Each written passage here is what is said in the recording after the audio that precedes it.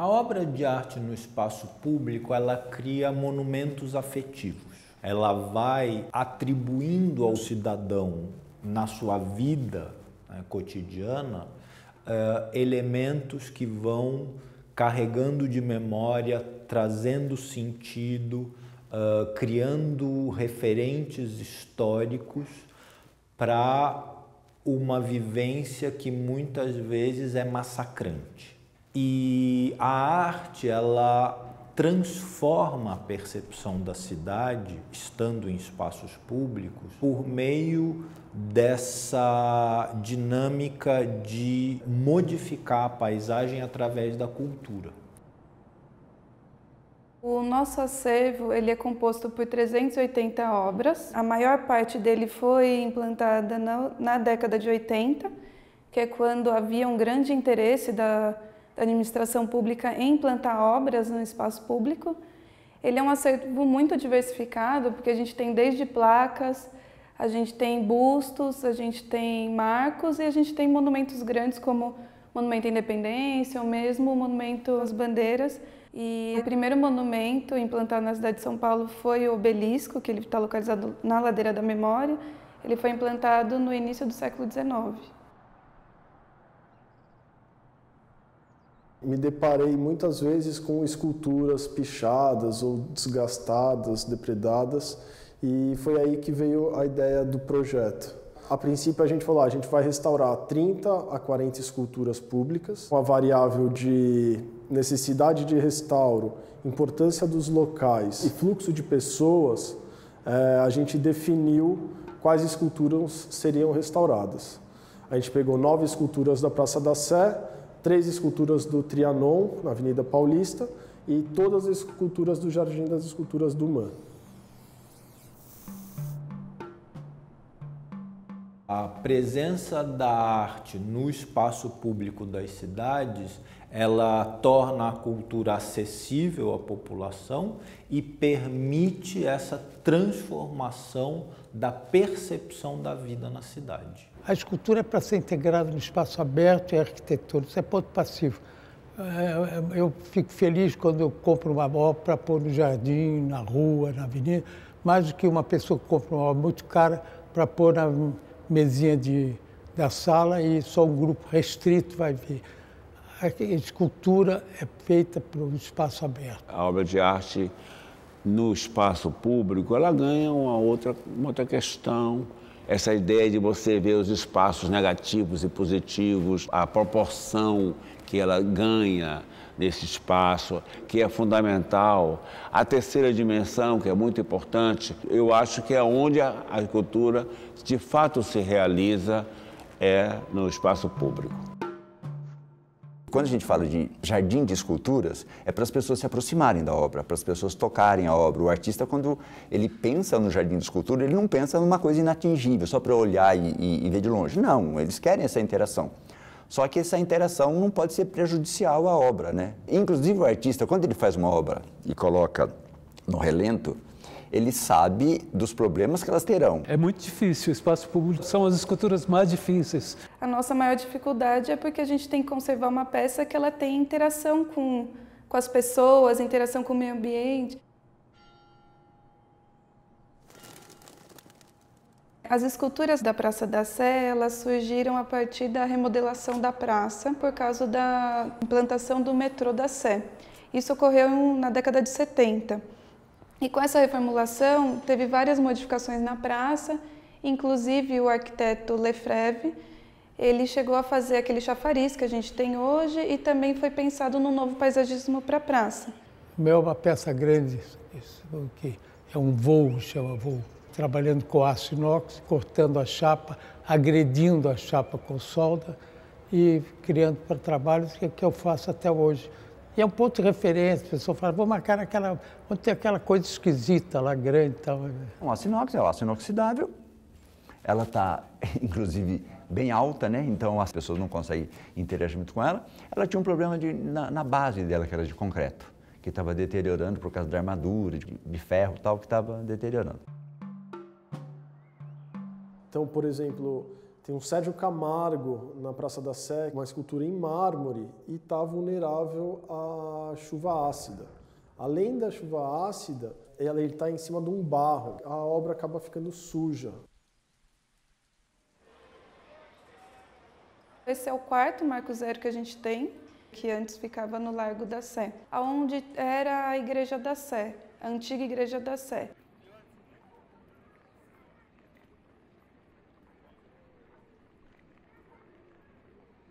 O Marco Zero, a gente fez o que seria uma conservação. A gente foi lá, limpou, tirou pichação, poliu. Teve um incidente na Praça da Sé, no qual o Marco Zero, que a gente já tinha restaurado, foi derrubado por um caminhão. Um caminhão deu uma ré no Marco Zero, o Marco Zero caiu, o pessoal tirou o Marco Zero do centro, arrastando ele. Então, o Marco Zero, além de ele sair do lugar, ele ainda acabou sendo danificado. A nossa sorte foi que os danos não foram tão grandes, né, quanto a gente temia, mas foi um dano, ainda pensando que ele tinha acabado de ser restaurado. E aí teve muita repercussão é, negativa. Quem que ia ser o responsável por restaurar o Marco Zero? E tal, todo mundo falando nisso tal, e a gente falou com um conservador, falou, tá bom, vamos restaurar de novo. Então a gente voltou lá, aí sim, aí não foi um serviço só de um trabalho só de, de, conservação, aí foi de restauração, né? Mas por outro lado, eu acho que tem coisas, há males que vêm para o bem. Viram e aí iam conversar com a gente, ah, o que, que é isso? Ah, é o Marco Zero, nossa, que importante, ele está caído. Então, assim, foi um ponto também de visibilidade, foi uma hora de visibilidade para o Marco, que às vezes as pessoas não, elas não percebem. A obra está ali na rua, mas elas não têm esse, esse entendimento que ela é importante. Riquezas em espaços públicos no centro da cidade que a gente acaba não dando valor. O Rubem Valentim, é, ele tem uma escultura que foi restaurada pelo projeto. Está numa perspectiva linda na, na Praça da Sé.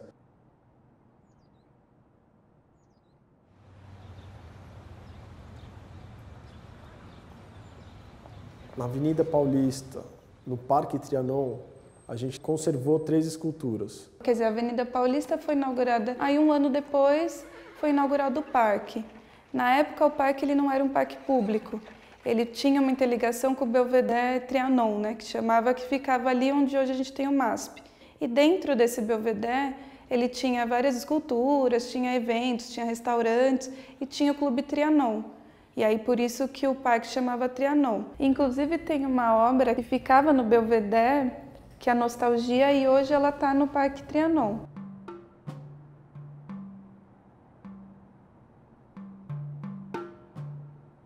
A estátua do Joaquim Eugênio de Lima, ela, apesar de ela ter sido implantada bem depois, na década de 50, ela tem a ver com a Avenida Paulista porque o Joaquim Eugênio foi o idealizador, né, toda essa concepção da avenida.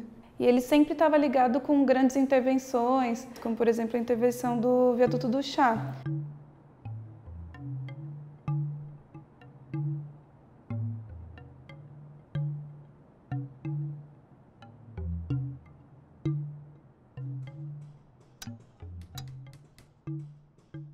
Na época, quando o Brecheret estava construindo o monumento às bandeiras, teve uma fase de crise, então que acabou um pouco da verba, e o prefeito da época foi até o ateliê dele, viu o fauno e gostou muito da obra.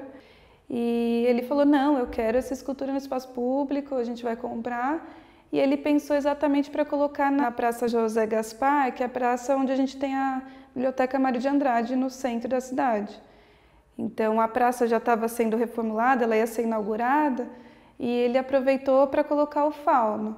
A gente tem informação que na época quando foi colocada, o arcebispo de São Paulo ficou totalmente em choque. Ele falou que era um absurdo colocar aquela aquela obra ali, porque ela tinha uma imagem meio diabólica, né? Porque ela tem chifres, ela tem garras assim, né? Ela tem um, ela é um personagem forte. Ali antes tinha um espaço é, religioso, né? Então, para ele, ele achou que aquilo não era condizente. Então, a gestão acabou optando por trocar de lugar. E aí, até também para compensar o problema com o arcebispo, eles colocaram uma cruz.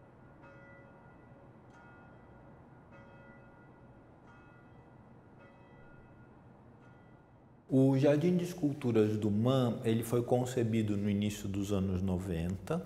Foi um projeto do Roberto Burle Marx, foi um dos últimos projetos paisagísticos do Burle Marx, e lá foram instaladas obras do acervo permanente do museu e depois foram acrescentadas obras que vieram em comodato para o MAN.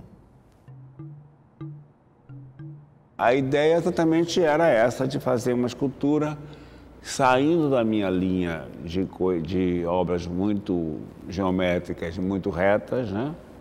E ela exatamente tinha essa ideia de, fazer, de ser uma coisa que tivesse esse, esse sentido, né? De, de estar no chão, estar no espaço, de, de ser interpenetrada pelo público, que podia entrar e sair da obra. Ela é feita em aço carbono, portanto, ela tem uma manutenção mais complexa então ela tem uns problemas de oxidação interna, é, furos na, na, no próprio material. É o mal de toda escultura pública, né?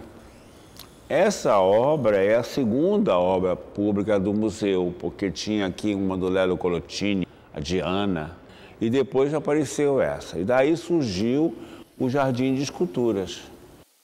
Nomes importantes, como Franz Weissman, aquela de Óleo de Freitas, né? E tem do Nuno Ramos, né? Aquela. Essa escultura é como se fosse assim um pedaço um meteoro que veio da, da do espaço. Ela é, é, de alumínio fundido e tem peixes, cabeça de vaca, crustáceo, concha. E a gente vê a concha verdadeira. Então foi usado a própria concha como molde para fazer a obra dele. por essa obra dele é interessante que está aqui, né? A daqui do Man, dessa vez, por exemplo, a gente não pintou, a gente só retocou. Mas ela tem uma vantagem em relação às outras esculturas. Ela fica debaixo da marquise. Então isso ajuda bastante na, na preservação dela. Eu considero que meu trabalho é agressivo, forte, a solda é violenta, não é profissional, é agressiva. Então, eu posso pôr cor que não cai no decorativo, porque decorativo acaba a arte. Todavia fiz volume e não pintura. Embora eu acho fundamental o desenho, tanto para o escultor como para o pintor. As esculturas vieram do desenho. De certa maneira, são desenhos na terceira dimensão. Essa escultura foi feita para uma sala que eu tive na Bienal de 91 que se chamava Engenhos. E é uma espécie de um desenho em terceira dimensão de engenhocas. Mistura de uma nave com pássaros, sei lá, com um bicho. E ele é formado dessas de ferro, de linhas que são desenhos. É um pouco da memória afetiva e um pouco do, desse imaginário que veio lá do Ceará. Ela tem um problema porque ela é móvel ela sim sofre com a, com a ação das pessoas. Ela não é móvel, mas ela não é. Hum, se você pegar ela e mexer, ela movimenta, digamos assim. Sim, ela tem um, um balanço que surgiu, esse, foi criou-se esse balanço. Não era previsto, mas eu achei interessante. Então as pessoas é que causam a deterioração nela, porque ela é toda soldada, quando você movimenta pode haver quebra de algum ponto de solda. Tem também a da Milan, que é aquele labirinto, que as pessoas é, é, sentam, sobem, fazem lipacur. Tem essa do Ângelo Venosa também, que as pessoas usam como banco. Eles sentam ali para conversar, que as pessoas interagem e não, não há um problema. Ela pode ser tocada até, ela pode, não pode ser é danificada, né? Eu tinha um amigo meu que dizia que aquela escultura, essa minha escultura tinha um som, quando se batia nela tinha um certo tom. Essa obra que é do José Rezende, é interessante, é, que chamaram ele há anos atrás falando dessa interação do público com a, com a obra, que é um problema, você vai jogando pedrinha, você vai deteriorando ela, mas ele mesmo aceitou que se é isso que o público é, interage, acha interessante na escultura, para ele não tinha problema. É isso, o trabalho, a arte, ela vai além do artista. Quando ela toma uma vida e se supera Aí é que acontece a magia, é que acontece a arte. Às vezes nem o artista não estava prevendo, mas ele, ela por si só já toma outra dimensão.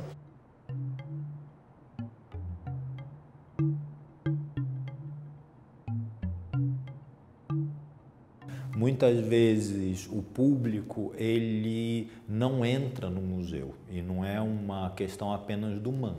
É uma realidade historicamente herdada num país no qual as instituições museológicas são socialmente excludentes. E a presença das esculturas no espaço público, no Jardim das Esculturas, faz com que um público que muitas vezes não entraria no museu tenha contato com as obras de arte num espaço uh, em que não há nenhuma forma de barreira. Quando o museu reconhece que aquilo é um espaço que diz respeito ao museu, ele passa a se relacionar com um público ampliado ilimitado. Então, é um privilégio o museu poder também se dirigir ao seu público nesse espaço aberto.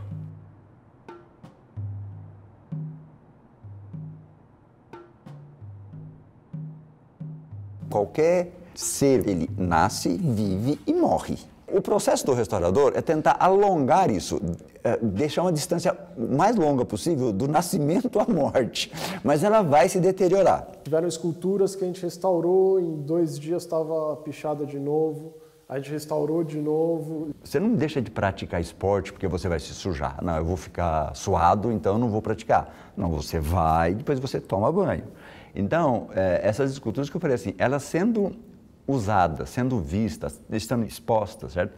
Elas vão durar o mesmo tanto, talvez até mais que se elas estivessem guardadas ali num, num lugar fechado. Eu acho que a escultura morre mesmo também quando ela entra no espaço fechado, né? Aí ela perde a dimensão dela. O que eu acho que é mais importante é poder dar, ter o acesso para pessoas de todos os níveis, de todas as classes sociais, terem acesso à cultura, né, à arte e elas poderem cada uma ter o seu olhar diferente, né? Então é muito importante esse espaço para a democratização do acesso à arte. É importante porque as pessoas têm que conviver com a arte. É trazer de volta as pessoas para o espaço público e fazer com que as pessoas se sintam donas do patrimônio cultural da cidade. Porque se a pessoa tiver esse entendimento, ela vai ajudar a preservar, porque ela vai visitar, ela vai contar história para as outras pessoas. São ações pequenas, mas que aos poucos a gente já vai fazendo a diferença, né?